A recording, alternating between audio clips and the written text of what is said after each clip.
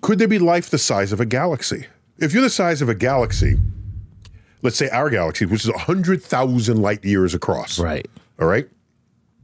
And there you are, and your limbs and everything occupy this volume. And now your head itches.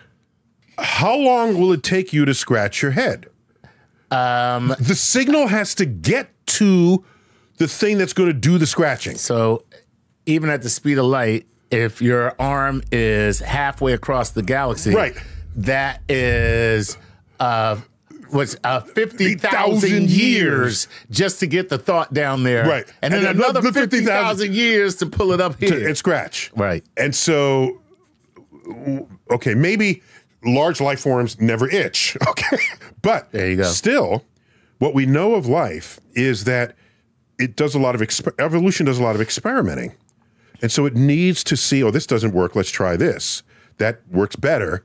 Oh, here's something that works even better. Oh, this this is bad. We can't help this. You go extinct. All right.